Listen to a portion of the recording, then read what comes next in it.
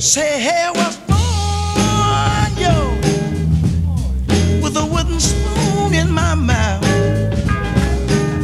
Oh, I was born, born, with a wooden spoon in my mouth. Yes, I was.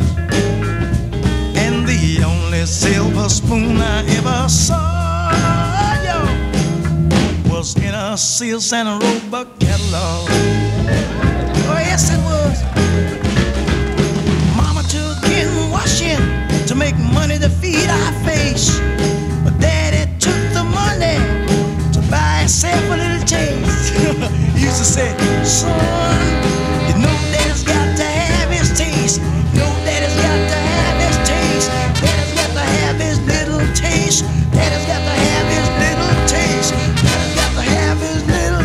And he got it too.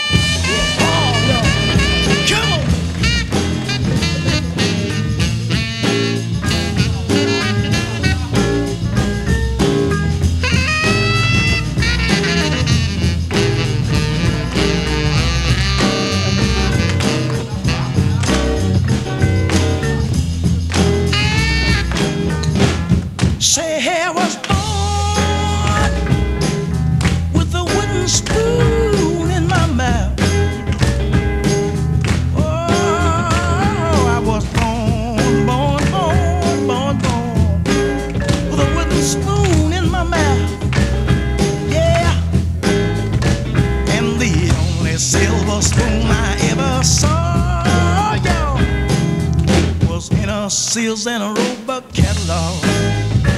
Yes, it will. As I think back on my school days, going in lockers, taking lunches.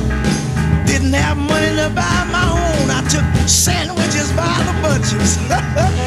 One day, Mrs. William called me and made me write it on the blackboard 500 times. I will not take nobody's lunch.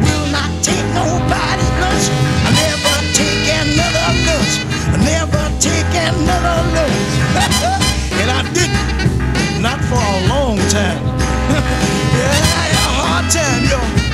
Born with a wooden spoon in my mouth. Yeah, I came up the hard way, not the highway.